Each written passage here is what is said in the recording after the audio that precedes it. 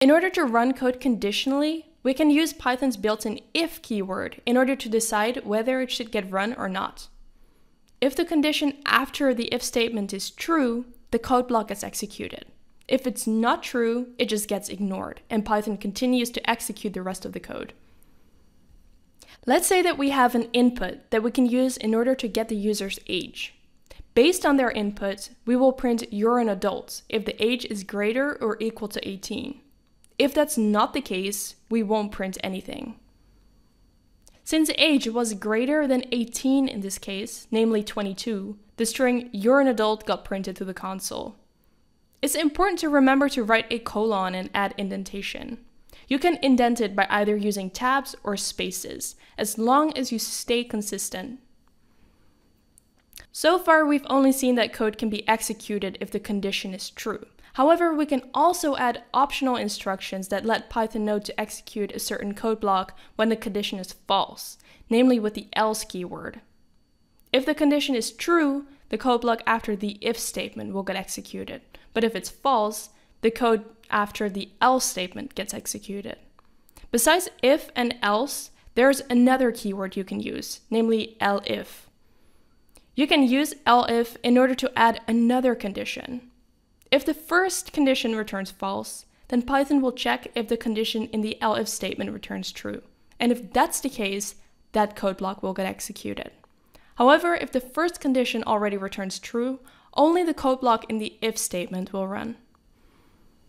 The rest of the elif and else block won't run, even if the condition in the elif statement also returns true. Code within the code blocks after an if, elif, or else statement can also contain conditional code. If the person's age is exactly 18, which can happen since we initially check if the age is greater or equal to 18, we'll print you're exactly 18 years old. If that's not the case, it means that the person is older than 18 years old. They cannot be younger, since the first if statement's condition wouldn't have had returned true in that case.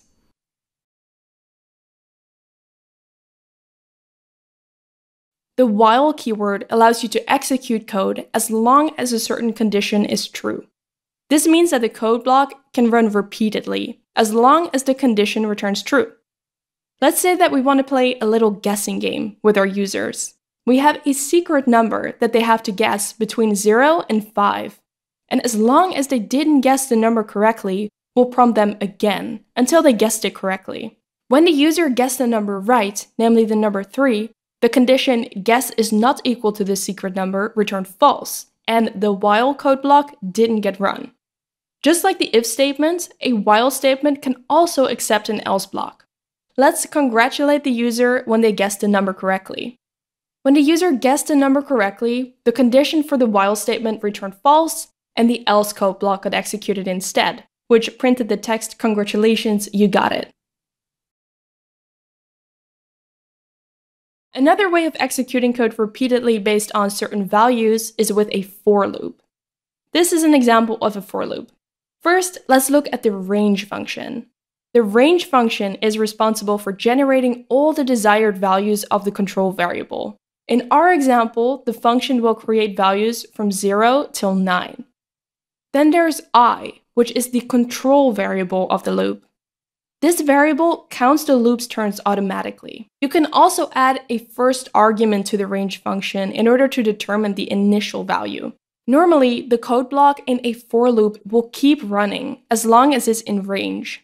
However, in some cases, we don't want to continue the loop after a certain event happened, since it may just be unnecessary.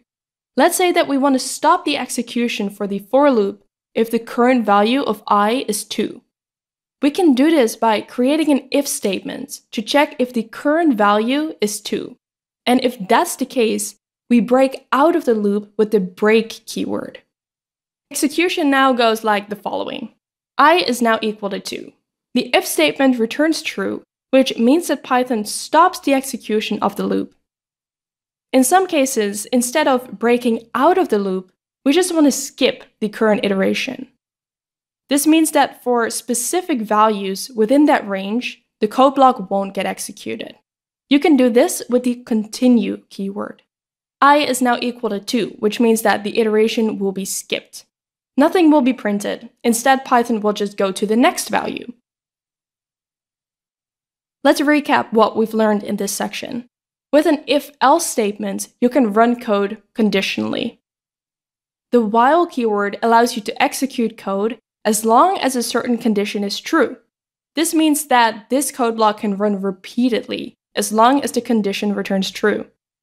And lastly, a for in loop is another way of executing code repeatedly based on the elements in a sequence.